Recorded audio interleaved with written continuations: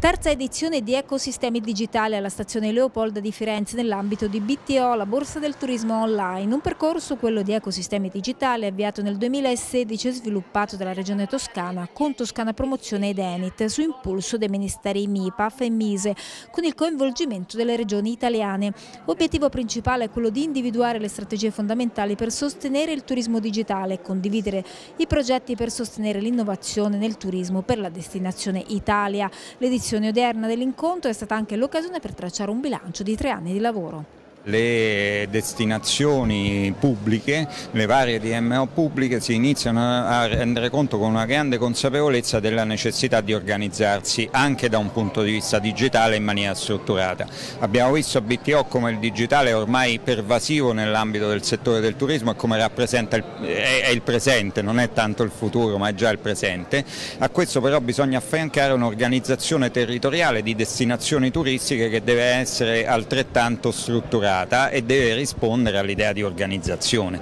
La consapevolezza che qui si devono costruire politiche attive, che il ruolo degli enti locali non è quello di essere semplicemente degli archivisti, ma essere dei promotori, di essere dei partner veri della pubblica impresa e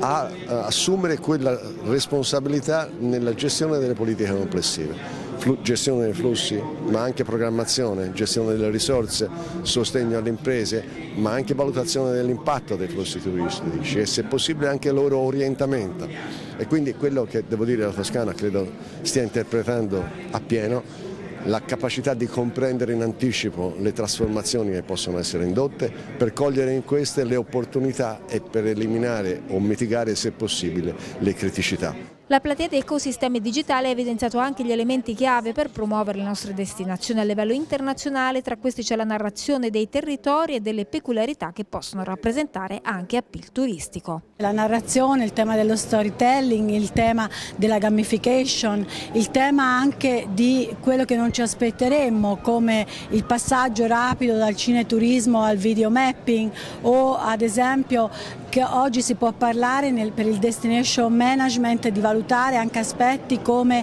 l'Instagrammability, cioè è quasi una parola impronunciabile, però quanto una destinazione può essere fotogenica in chiave di Instagram. Quindi mi sembrano tutti degli spunti molto molto interessanti. È chiaro che Ecosistema Digitale nasce all'interno di un quadro, di un accordo fra eh, Stato-Regioni, Conferenza Stato-Regioni, MISE, MIBACT, Regione Toscana, quindi è evidente che dobbiamo poi andare ad individuare anche delle linee di azioni eh, concrete, quindi delle vere e proprie appunto, mh, linee che possono diventare degli output per le destinazioni in termini proprio di policy specifiche per migliorare anche la governance. All'interno di BTO c'è stato poi spazio per i riconoscimenti, tra questi quello che i viaggiatori di TripAdvisor hanno assegnato alla Toscana, ancora una volta meta amatissima. Secondo lo studio del sito di viaggio è emerso infatti che le recensioni dei viaggiatori stranieri sugli alloggi vedono la Toscana sopra la media nazionale. La provincia di Arezzo è quella che risulta la più apprezzata dalla regione per l'offerta ricettiva.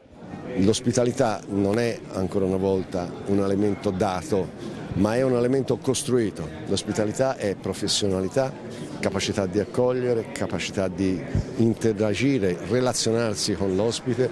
capacità di essere in grado di dare il meglio nel momento in cui si consegnano le chiavi di una camera d'albergo o di un appartamento.